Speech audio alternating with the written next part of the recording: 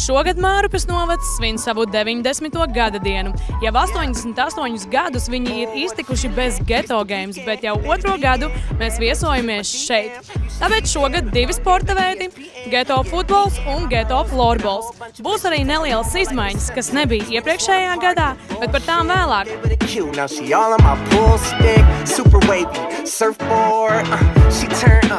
Esmu noķērusi Mārupes domas priekšsādātāju Bajāra kungu. Sajūtas ir visforšākās. Īpaši šodien, tik labā dienā. Un prieks, ka arī jaunieši šeit. Un, prieks, ka tas, ka Getu Games ir Mārupas visos četros ciemos. Jauniešiem ļoti liela interese. Kaut viņi neapstīgtu, kaut viņi sportotu, būtu veselīgi, priecīgi un stipri. Kas tad Mārupē ir tas galvenais sporta veids, ar ko visi aizraujās?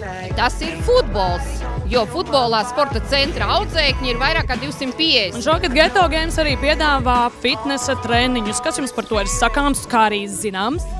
Tas bija faktiski Marks novada ierosinājums, jo mēs iedomājamies, ka visiem vajag veselīgi dzīvot, un tātad ir vajadzīgs arī pavingrot. Un kur tie fitnesa treniņi tad precīzāk notiksies? Fitnes treniņi notiks taisni visos četros ciematos. Protams, neviens Geto Games pasākums nenotiek bez paša Raimonda Elbakena. Eh, Šodien otrais gads Mārupē. Otro reizi mēs atklājam sezonu. Mēs netaisīsim eh, Mārupē vairāk basketbolu, jo basketbols būs tikai Grīziņkalnā un piecas reizes izbraukumos. Eh, Līdz ar to Mārupē divi ļoti nopietni sporta veidi - florbols un eh, futbols. Un, Nu, ko, svarīgi ir, lai jaunieši kustās, darbojas. Un, tāds bijis mūsu mērķis. Tur seši gadi atpakaļ, un viņš vēl joprojām nav mainījies. I'll be drinking till tomorrow morning. And everybody on one tonight.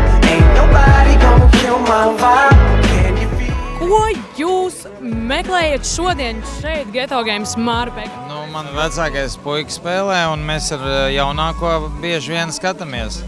Viņš katru pirmdienu no, cenšas neizlaist. Un Kur jūsu profesionālā karjera ir novedusi šobrīd? trenēja nedaudz eh, manu puiku un eh, viņa vecuma puikas. Ko jūs varētu ieteikt uh, citiem spēlētājiem, kurš, kuri šodien piedalās? Ko lai ar pilnu atdevi spēlē? Šīs vasaras Mārupas Geto Games jaunums ir fitnesa treniņi, kas norisināsies vairākas reizes nedēļā. Nu, pat ir arī aizsācies pirmais treniņš, un šeit esmu noķērusi treneri. Sakiet, lūdzu, kā tad šodien viss šeit notiekās? Pavisam vienkārši. Raimons man uzaicināja ar iespēju sevi pierādīt kā trenerim Mārupē. Cik bieži mēs jūs varēsim satikt šeit un piedalīties treniņos? Divreiz nedēļā vismaz Mārupē.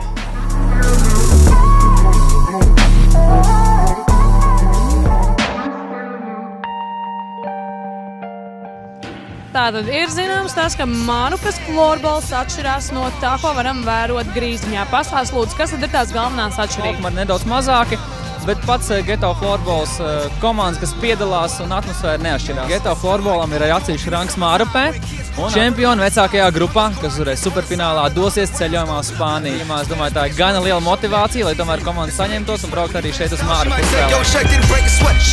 vet. Hustles all on that street corner. Sweaty palms with a piece on her. Dreams of copping that.